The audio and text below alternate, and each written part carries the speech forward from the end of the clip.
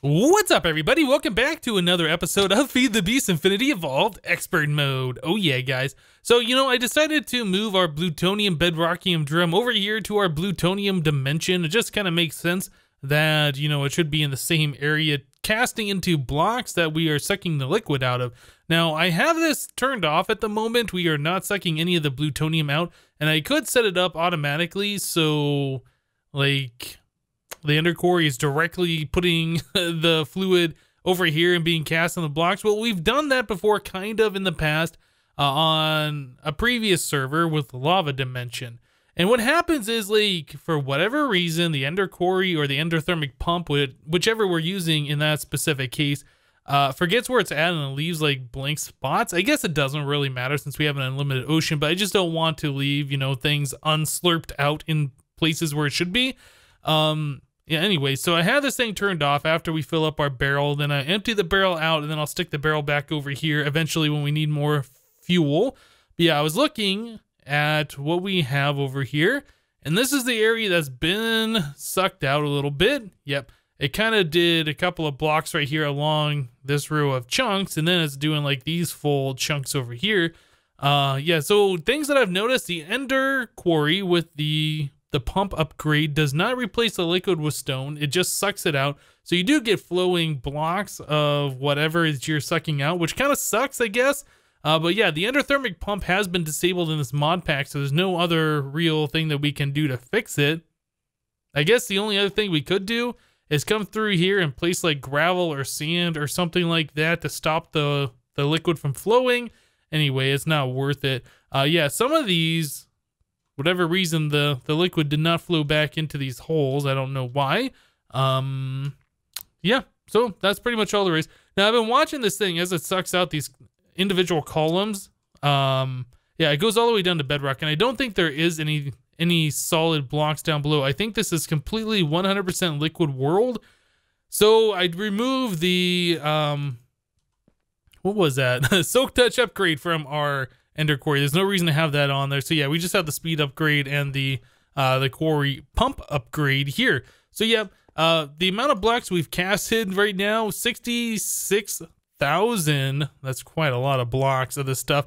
And then over at our big reactor, I have brought more of the blocks over there. Let's take a look at this.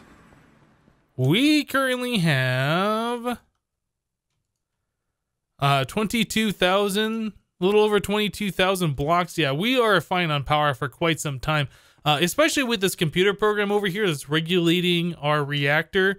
Like, it's not using a crazy amount of fuel all the time. It just uses enough to keep the power inside this thing full. So, yeah, we are using it kind of sparingly. We have basically unlimited fuel, so we don't have to worry about that.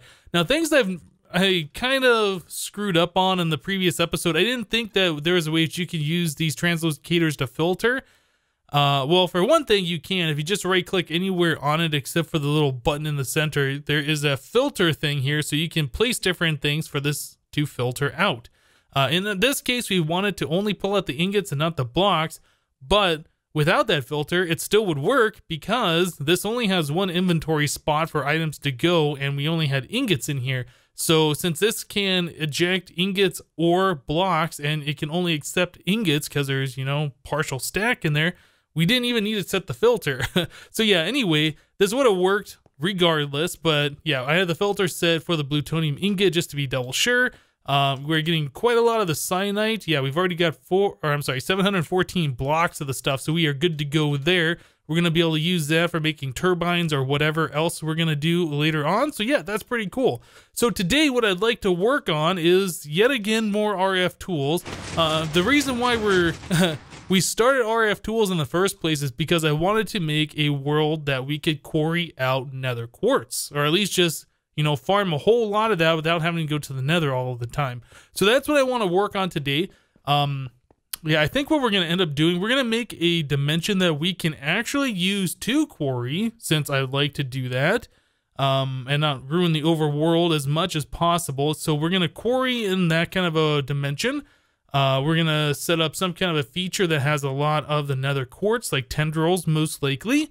Yeah, I think that's going to be kind of cool. And uh, ideally, I would like to make it in extreme hills or what was the other one? I can't remember the name of that other biome. There's a few other different biomes that you guys were saying that uh, emeralds spawn in. Um, again, I can't remember the name of it. I thought it was like C or something. Anyway, I'm gonna go through here. I'm gonna find the biome I want. I'm gonna get all this stuff. Was it Canyon? I don't think it was Canyon. Uh, I'm gonna find the biome I want. We're gonna make another dimension that we can use for quarrying. I'm probably gonna make another uh another ender quarry. So I'm going to be spending some time here crafting.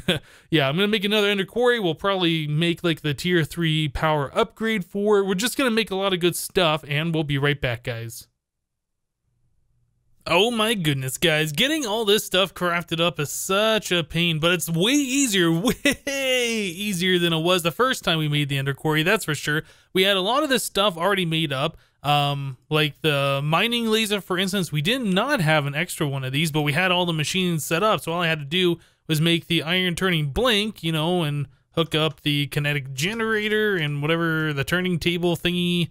Had to make another lathing tool or whatever. But yeah, uh, it's so much easier trying to get this stuff done when you already have all the machines ready to go. You just need to hook them up. But yeah, getting auto crafting for all this stuff is definitely, definitely something I would like to do in the future. Although I do remember in FTB Infinity, like the mining laser, for whatever reason, this thing just would not craft. Or maybe it was the iron turning blank, one of these things. Like there was something with the mining laser. I, I remember I wasn't able to auto craft it. And we've seen things so far in this pack. Like if I try and make myself an electronic circuit, the redstone just does not automatically fill for whatever reason. There's just something about IC2 recipes that are kind of weird when trying to use applied energistics to do some of this stuff. So we'll try and figure that out when the time comes. Uh, so I did end up making the uh, Ender Quarry Speed 3 upgrade, and I'm super happy that I decided to mess with the Bibliocraft book copying stuff earlier on. Yeah, so we had all this stuff set up. Um, yeah, I did not have an efficiency one, so I had to enchant a few books on the enchanting table I think I got a wrecking one and then I got sharpness one. Then I finally got the efficiency one. You need that to make the, the tier one.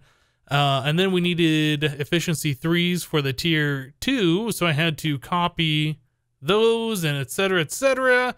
Yeah, anyway, we got this all done. so we have the Silk Touch. We have the Ender. Um, well, we had the Silk Touch from before. We I just made the Ender. I just made the Speed 3. Uh, this Tesseract I have sourced from our water wheels. We are no longer using that. We're only powering our stuff off our big reactor. And then I just made a four more of these ender markers. So I have all the stuff laid out here for a new dimension. I think we should have something good going on here. So empty dimension tab. Uh, we're going to do material default, uh, liquid default, terrain flat, biome, extreme hills plus. I'm just going to assume that we'll get emeralds spawning, and then of course the dense emeralds with this biome. I hope. if not, you know, at least it was a good test, right? Uh, controller single, sky normal, sky normal day, sky normal fog, sky body sun, mod default effect none, material nether quartz ore that is going to be modifying a tendrils dimlet, and then we are doing structure none and then time noon. So hopefully it'll always be daytime. We might use this as some kind of a solar age if solar panels work. I don't know if they do or not in the these kinds of RF tool dimensions. I guess we'll figure that out. So yeah, this is the dimension we're gonna do. We're gonna call this our our quarry dimensions. So this should be number four, age four or dim four or whatever. Let's go and store this. This says this is going to cost 32,447 RF per tick to create. It's going to take 2,088 ticks to create it. And then once this age is made, I guess dimension, it's going to cost almost 12,000 RF per tick to keep it going. All right, so we are going to depower plutonium. I think we're good with the plutonium for quite some time. Um, wait, where do we go? Plutonium quarry. All right, so let's put our quarry in here. This has got to build the dimension. Yep, this is going to take a minute. Let's wait for this to happen, and we'll be right back. All right, guys, so here we go. Here is our quarry dimension. This should have nether quartz tendrils, so we should have a good way of collecting that nether quartz. It is powering up. We are providing it enough power. Yep. Let us dial it. Um, yeah, I'm going to have to make sure to watch out when I go to this plutonium because that's going to depower pretty quickly. Although, like I said before, we do have this phased field generator. So if we do go to a dimension that's unpowered, this will keep us alive and our Wyvern Flux capacitor will keep that powered. So as long as we got juice, we should be fine. But yeah, let's not go there accidentally. so quarry age, let's go ahead and dial. I, I'm going to keep calling it an age, but it's just a dimension. Let's check this out. Hopefully everything goes correctly and there's no problems here. Whoosh. All right, there we go. There we go. There is some tendrils. Ah, yeah. All right, so all of our nether quartz problems are now solved. We're just going to have to, you know, mine the stuff, obviously. um, yeah, so when I set up quarry, oh, there's snow up here. Weird. Yeah, when I set up a quarry, I'll probably set it up in the sky so I can mine out both the nether quartz and all the stuff down below at the same time. Now, this looks like a really good dimension just by eyeballing it. So this is Extreme Hills Plus. Uh, so hopefully we will get those emeralds. Hopefully we will get the dense emerald so we can make all the things that we've been wanting to make. Uh, it looks like there are a lot of trees here. Look at this. We got like the cobweb trees. So we should be able to get some cool loot out of here. And it should be bright enough, I think, where these things aren't going to spawn. Uh, there's some unknown dimlets. That's good. Mundane ring. Yeah, just some, you know, random loot stuff. So that's pretty cool. What am I seeing over here? Oh, that's just the RF Tools building. Maybe this has some kind of a fancy dimlet in there. Let's go check this one out. What we got? We got uh, a patron dimlet, a controller wet, and biome crag. Oh, you know what? I think the crag people are saying that's another one that the emeralds do spawn in. I think that's the one I was trying to think of before. So there's some more unknowns. Here is a seasonal forest and a huge liquid orbs dimlet. That sounds kind of cool. Not sure what what we'd want to make uh, out of huge orbs. And that's going to be a lot of quartz that we'll be able to mine out of this. This is really, really good. Oh, you know what I forgot to do? I forgot to come over here and set a waypoint. So let us do that now. Well, I guess not really waypoint. Set my little ender thingy. Uh, so let's add new. We'll call this quarry. Uh, commit. And lock it. Cool. Oh, you know what? I think, don't I normally call these things? Let's unlock this. Rename quarry. Whoops. Dim 4? Isn't that what I do? I think that's what I do. Anyway, that doesn't really matter, but we'll do that anyway. Uh, yeah, lock it. Cool. So now we can warp here whenever. I think the next thing I'm going to do is probably get some angel blocks. I'm going to go up in the sky a little bit. Yeah, probably about like right here or something like that and put out some markers. I might just mine a bunch of this nether quartz by hand for now just so we have this, you know, available to do some stuff with because I would like to start looking at getting into the applied energistic stuff here pretty quick. And we were ran out of the nether quartz. Also, we're going to need that for the draconic evolution, uh, dragon spawning, and all of this. So anyway, let me go ahead and cut. We'll be back in just a minute. All right, guys. So here we are in the RF Tools dimension once again. Uh, the quarry has been set up, and I actually made this like 500 blocks this way and 500 blocks that way. So we have a large area this thing is going to be quarrying out, and it's going to be going for a while. Now, I went back to the base because I was kind of concerned that we are running this expensive dimension. Plus, we have the Ender Quarry going with the Speed 3 upgrade. I was afraid that we were going to be running out of power, but no. Our big reactor is definitely keeping up. We're keeping our batteries stocked at the base. Uh, I do eventually want to get to the point where we are using the Draconic Evolution mass power storage because that can, you know, obviously store more power than those resident flux capacitors we have. And it can also, you know, send and receive more than the 32,000 per uh, flux capacitor. So anyway, that's something that we'll be looking at in the future. We do need a whole lot of the draconic ore in order to do this. Uh, but yeah, obviously, as you can see here, it is snowing, so we have weather in effect in this dimension. So if we were going to set this up to be some kind of a uh, solar farm, for instance, we would need to do something about the weather. Yeah, I did not have a no weather dimlet, so we never put that in uh, this dimension. I know the dimension editor, if we ever do get a no weather, um, weather? What is it called? Yeah, weather, no thunder, no rain. maybe it is weather, no rain is what we're looking for. So if we ever get this dimlet, we should be able to use the dimension editor and inject that in here, and that should prevent any of this weather. Alternatively, we could, um, yeah, use like the Rainmaker from Forestry. The Rainmaker with a dissipation charge when given a redstone signal, I think, or maybe just when it has the dissipation charge. I can't remember how this works. Either way, uh, with that, it can turn the weather off, and then also Draconic Evolution has a oh no, it's called a rain. Has a rain sensor which emits a redstone signal when it's raining. Uh, or we could do the rain tank method that we've done before with the buildcraft pipe and all of this stuff. Yeah, there's a few options that we can do, but right now, since we aren't trying to use this for any solar purposes, yeah, we really don't have to worry about this. Um, so let's go back to the base. And I was checking this out a minute ago. We are, in fact, collecting emeralds. We had 55 previously. We're now up to 60, and we collected one more dense emerald ore. So both of those do, in fact, spawn in that dimension. Uh, not only that, uh, we are also collecting the dimensional shard ore, which is good. Uh, we have been collecting nether quartz ore. This is from the quarry because I was fortuning everything. The only thing that I haven't seen so far is draconium ore. I really do hope that we can get that. Okay, stop with the particles. I really do hope that we can get the draconium ore uh, from that dimension. We need, I think it's 128 of these things to make an RF tools dimlet out of this stuff. Yeah. so anyway, we're going to need a lot of this stuff in order to make our own dimension with the draconic ore. It is possible. There is a dimlet. Uh, draconium. Is that what it is? Yeah, there is a dimlet here, rarity six, so we could take apart another rarity six. Um, yeah, take 128 of the draconium ore, use the material absorber, and make our own thing. But yeah, we, we're short on the ore. I did try going to the end and looking for another meteor. Let's go to the end real quick. I'll show you guys what I've done. Did that actually earlier to, today before I started recording. So yeah, if we go to here, that's our area. That's the little wither boss killing area.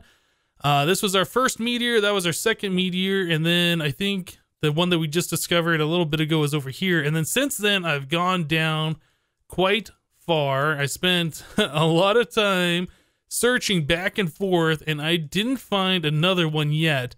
But as soon as we do find another one of those meteors and we collect, you know, 128 of those ores, like I was talking about, we'll definitely look at making our own uh, draconic ore spawned dimension, which is going to be pretty awesome. Cool. So uh, the next thing that I'd like to work on.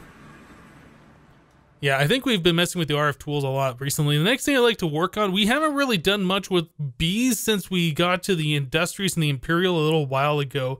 Uh, I have been collecting the stuff from those bees and I've been processing the honey and all of this. So, like the pollen, for instance, we have 2,000 of it, and the royal jelly, we have like 2,200 of it. Yeah, we get a lot of this stuff. Uh, I have noticed that some of the bees have died off. Uh, the princesses in there, and I assume that was because the princesses were the ignoble stock. They were not the pristine bees. So, yeah, they only have so many life cycles in an apiary or some kind of an automation machine before they do in fact die off. Um, yeah, first uh, we had a couple die off here, the ones that make the pollen. yeah, these had died off a couple of times and I replaced them. And then I noticed that some of the ones that make the royal jelly had died off. That's why there's some rocky drones in here because I put another rocky princess to convert it back into an imperial. But I've gone through and made sure all of these are pristine. So these should not die off at all. But yeah, it did take them a while before they actually did die off, but it looks like it is in fact the case that they do in this mod pack. Previous mod packs, I think like Grey Skies or whatever, the ignoble stock didn't matter. But yeah, it does matter in expert mode in Infinity Evolved. Anyway, cool. So the next thing that we need to do with these guys is we need to start looking at making alvearies. The alvearies are really important because uh, the apiaries are limited to three frames only, whereas the alvearies, you can put in like pretty much every single block as a frame block, which means you can increase the production rate really fast, or you can put in multiple soul frames and almost guarantee that every single breed will be a mutation. So these are things that I want to look at. But in order to make the alveary, Uh, yeah, in order to make these blocks here, we need to get the scented paneling, and the scented paneling requires uh, some planks, royal jelly, pollen, and beeswax in a carpenter full of honey. Yep. So I have been preparing for this. So we have a honey drum here, and actually both of these are full, and we had a little bit of extra honey. I think, yeah, these didn't get fully squeezed, these honeydews. Uh, but yeah, we have the honey for the carpenter. Uh, we're gonna need some impregnated casings. I can't remember if we had extras or not. Yeah, we have 11 of those. I think it is 27 impregnated casings or alveary blocks that we need per alveary. So 27 times 8 of these scented panelings. Yeah, it's it's a lot of stuff that we need. Uh, the beeswax too. We got 1,300 of that, so we should be good. All right, so I tell you guys what, I'm going to try and get some machines together here. I think we're going to leave these alone, and I'm going to build some extra ones specifically for alveary creation. So yeah, let me go ahead and get on that, and we will be right back. Okay guys, so here we are on the second level in our B area, and I've kind of expanded this out now. Now that we have the nether quartz, we can make, you know, all the uh, laboratory blocks we want, so we can start expanding this. Uh, this wall over here goes about the size that we have dug out underneath. It's just about the same distance, and we have a little bit of open space back here. I don't know if we're uh, even going to build anything back here. I guess we could make this like an L-shaped room, or maybe even a U-shape and wrap it around here if we need more room. Uh, I really don't know how much space we're going to need for all of the genetic stuff. I definitely know that what I'm going to build right here is probably going to be temporary and will be moved later on. At least that is what I think is going to happen. So anyway, uh, I made myself a new carpenter. If I could get over here. yeah, I made myself a carpenter. We are going to power this from down below if we have enough power cables here. I think we might. We just need to pull the power from over here somewhere. Where does, uh, you know what? I thought the power was a little bit closer. We might not have enough power cables. Well, we might be able to pull it off one of these. Let's see, the power goes, oh man. We get to the power from there? Not really. That's the fluctuating item duct. Yeah, this is actually not going to be as easy as I thought it was going to be. So anyway, we guess we can just go ahead and run the power cable over here. I'm not sure if the 20 that I had is going to be enough. Now, hopefully, it will be, how many we got left? Four? Okay, it was enough. Yeah, I was kind of hoping we could pull the power like off from over here and then down over and save some cables, but the way that was all set up up there, yeah, not really the case. Okay, so anyway, we got power to our carpenter now. Doesn't really show anything though. yeah, it's powered, so we need to give this thing some fluid. We need to give this thing some items. So what I'm thinking is what we're gonna do. We're gonna use a little bit of applied energistics here. Go up, go up. All right, so we need to get ourselves an interface. Yeah, one of these guys. Don't need any more of these blocks on me at the moment.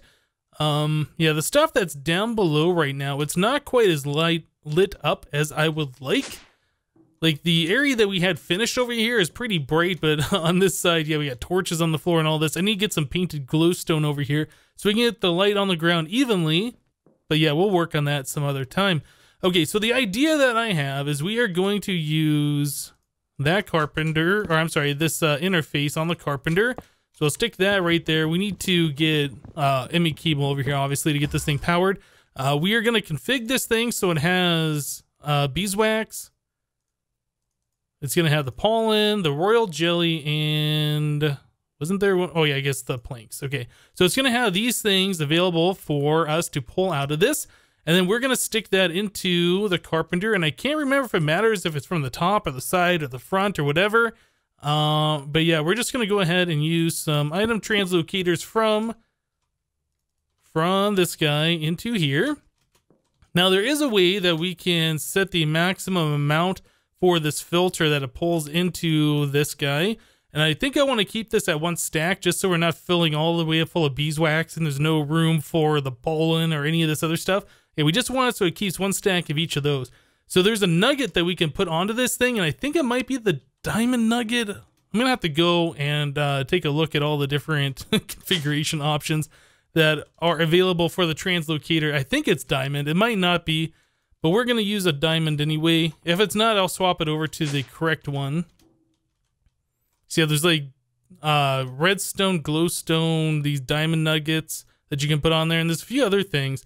Oh yeah, now it says regulate, so that is definitely what we want. So regulate, this would only have one of each of these. We want it to have not, oh, I guess I can right click to increase and decrease. Oh, what the heck? this is acting weird. Okay. So there's a stack. Okay, I guess there's just a way that you have to click this, double click it. All right, I don't know. There's obviously a way that I'm doing this wrong. Oh man, I just clicked the wrong thing. Okay, so right click left click adds the stack, right click takes away the stack.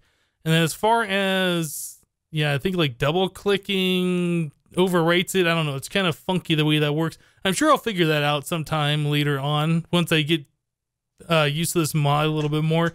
But yeah, this should only keep one stack of each of these items in this carpenter if this is working properly. That should be the next thing we should test out. Uh, then we're also going to need the honey because the carpenter to make these alvearies, or I guess the scented panelings, needs honey.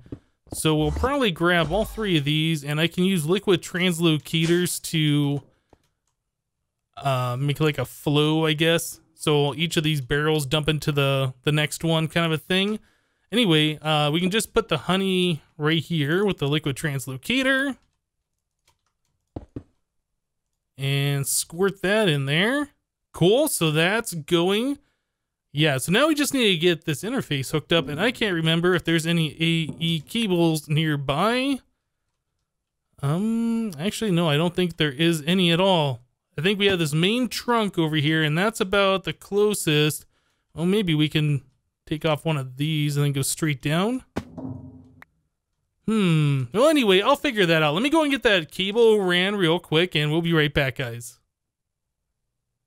Alright guys, well it looks like all of this stuff is now going in here just like we wanted. One stack of each of these different items. Now I just need to go in here and set the pattern. So I believe it was three of those, some wax here, pollen, and then royal jelly on top. Yeah, and that makes the scented paneling. Cool. So this will go ahead and make these and go to this output. I guess the next thing I should do is get another uh, thingy. Man, this thing goes slow, doesn't it? This is going to be one of those things where we're just going to have to set up and let it run overnight, I think. or make a whole bunch of these carpenters, which I probably don't want to do. Yeah, I think if we do like another translocator in such a way, and maybe if I run this cable like so, kill that. Oh, I need another cable in here, don't I? Yeah. Uh, I could do another item translocator over here and then pull those scented panelings back into the AE system so that'd be completely automatic. Let's go ahead and do that real quick. Do I have any? No, I don't.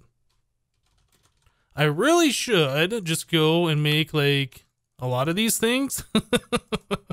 okay, so there we go. Got two more item translocators.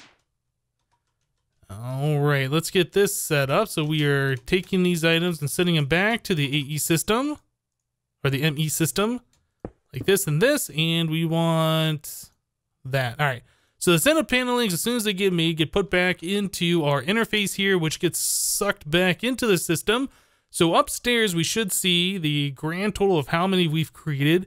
We don't have to wait or we don't have to let this thing make a stack and then pull out the stack and then all of that. So yeah, this is pretty cool. So if we go upstairs, I'm curious how many we have, probably like six or seven, right? Something like that.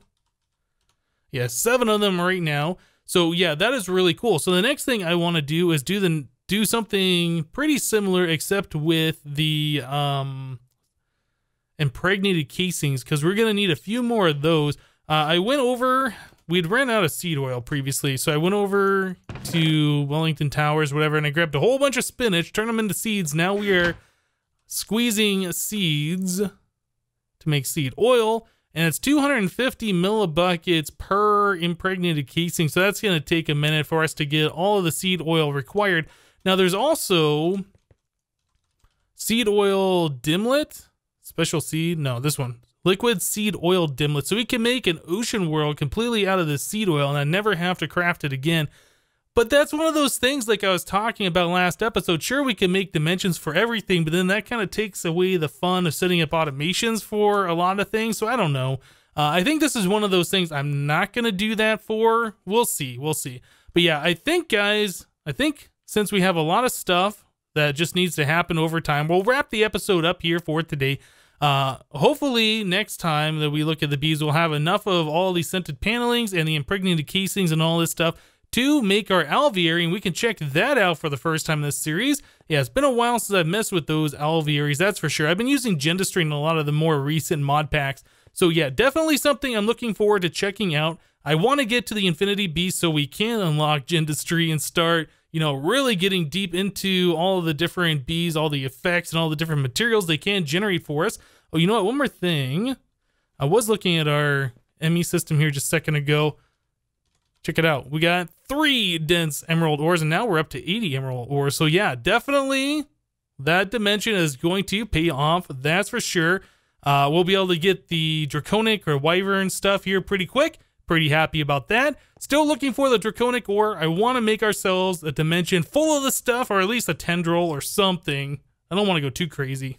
but yeah, guys, that's it for today. Thank you guys for watching. Remember to leave a like on this episode if you liked it, and we'll see you next time. Thanks for watching, guys. Bye bye.